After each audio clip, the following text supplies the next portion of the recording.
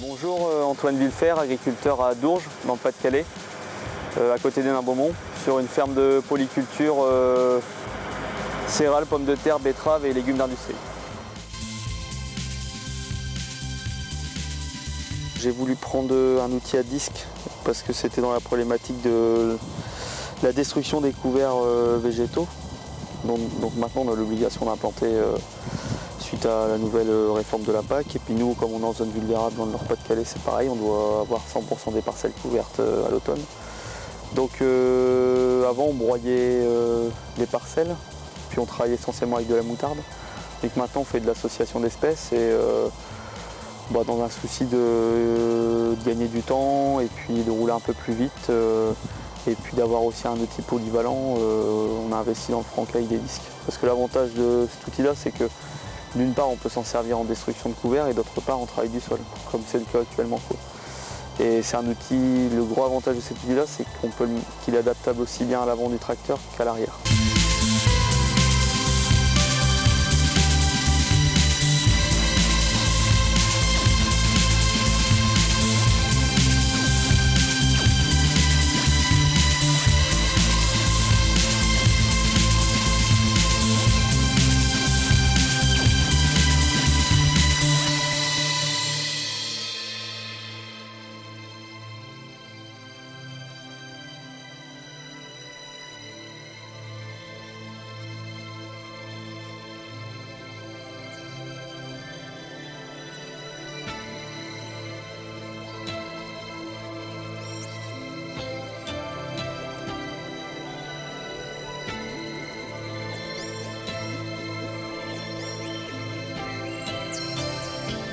Euh, bon maintenant euh, c'est la première utilisation donc euh, au niveau des réglages on peut contrôler la, la profondeur des trailles des disques.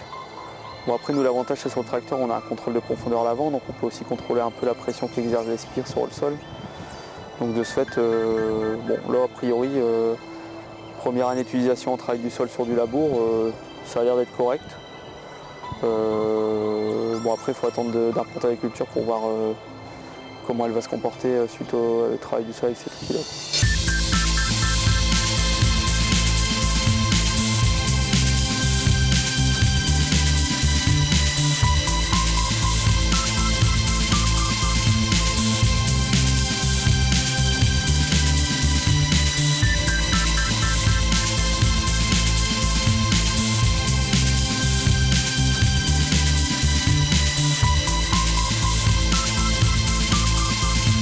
Utilisé l'année dernière en destruction de couverts. euh, bon, pas sur toutes les parcelles, parce que comme on met en route, on n'a pas fait ça partout, mais bon, faut quand même euh, aller à une certaine vitesse par contre. Je pense que surtout dans la destruction, euh, je pense que la vitesse, elle conditionne aussi le travail. Après, est-ce qu'un coup c'est suffisant En période de gel, je pense que oui. Si on a un hiver doux, euh, ça peut être un petit peu limite. Mais bon, normalement, si on a des hivers qui reviennent à peu près normaux, euh, le il fait son travail aussi derrière le disque, donc euh, ça devra aller je pense.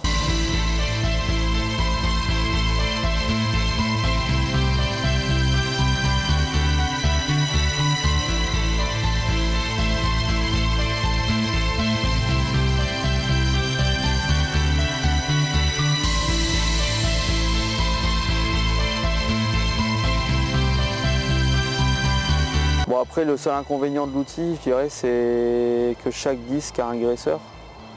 Donc je sais plus combien, enfin je sais plus le nombre de disques exactement, mais bon, euh, disons que déjà faut pas oublier de le faire et puis euh, quand tu fais, ça prend un minimum de temps quoi.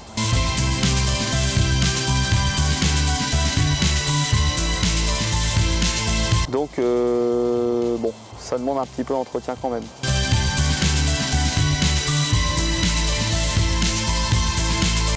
Mais à part, cet élément-là, le reste après, pour l'instant, on en est content.